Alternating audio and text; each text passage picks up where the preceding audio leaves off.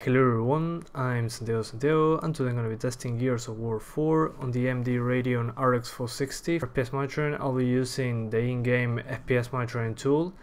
I had some extra stuff that is in there if you're interested. So I'll do 1080p, 900p and 720p. If you want to skip to 900p or 720p, check the description below. If you have the 2GB version of the RX 460, just lower the texture quality from high or ultra lower lower it from there to medium to low in order to avoid running out of VRAM since I have the 4 gig version.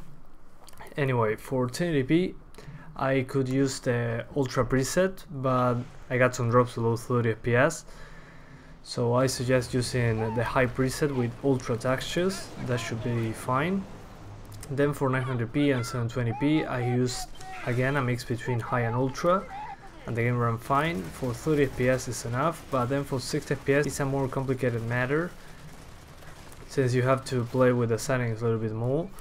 You can ask the game to target a frame rate like I don't know 30 or 60 or 140 or whatever and you can choose the percentage of the resolution that you want to use dynamically so if you have 1080p you can ask for 30% of resolution decrease. So when the game gets to a part with where the frame rate just gets lower to maintain the frame rate high they just dynamically decrease or increase the resolution depending on the frame rate that you are having at the moment which is very useful. But anyway the game is playable it runs way better than I expected and you can choose on the in the options menu if you want to use asynchronous compute which is interesting. On the 950 and 750 Ti we didn't have that option and it seems to run very similar to the GTX 950.